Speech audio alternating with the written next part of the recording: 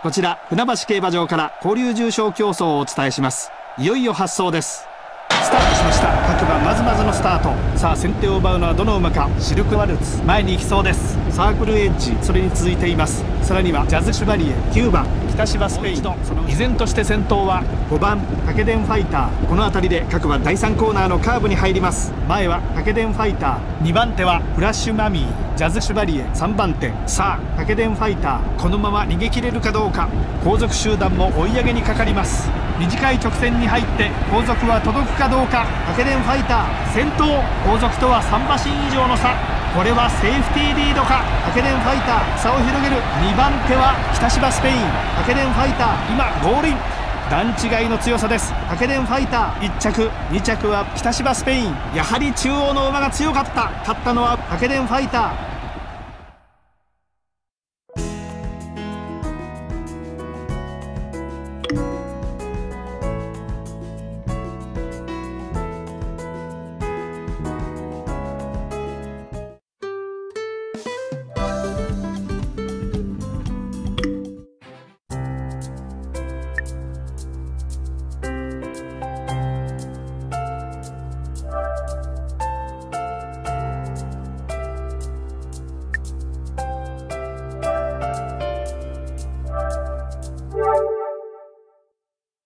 第4コーナーをカーブしてさあ直線コースに入りました。先頭はメジロスクリーン。川内立て男。先頭2番手はシェイクヒル。懸命に追いすがります。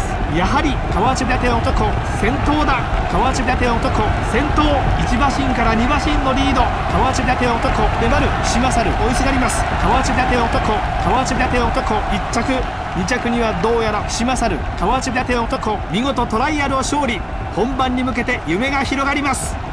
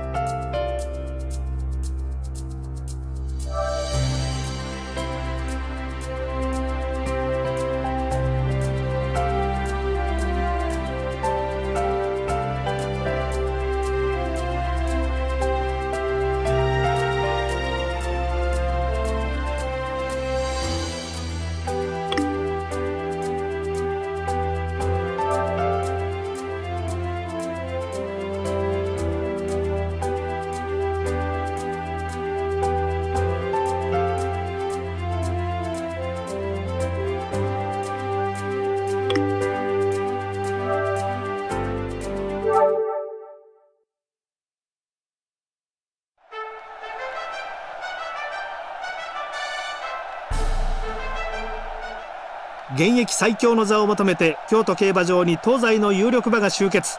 その栄冠をつかむのは歴戦の実力馬かそれとも新勢力か。小馬の最高峰レース天皇賞春の発走です。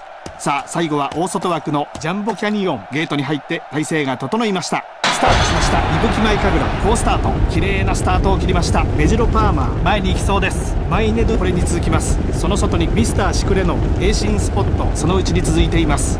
オレンジの帽子レイクフォーク。その後ろメジロマックイーン。好位をキープ。1周目の第3コーナーに差し掛かりました。先頭から最高峰までおよそ20馬身。これは縦長の展開です。では前の方から見てみましょう。メジロパーマー。先手を取りました。そして大きく離れてビュークコロネット。この位置です。黄色の帽子。マイネド。その後ろ。すぐ隣にミスターシクレノン。大きく離れました。エーシンスポット。メジロマックイーン。好位をキープ。その外からレイクホークそして大きく離れてヴィンテージクロップこの位置です。1000m を通過これはハイペースです。